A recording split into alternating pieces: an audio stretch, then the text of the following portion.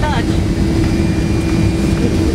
Ladies and gentlemen, it's our pleasure to welcome you to St. Maarten. For your continued safety and comfort, please remain seated with your seatbelt fastened until the aircraft has been brought to a stop the terminal and the captain has given a two-bell signal.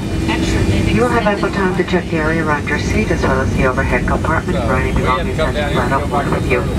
Please make sure you have all your documentation ready to present to the immigration officials upon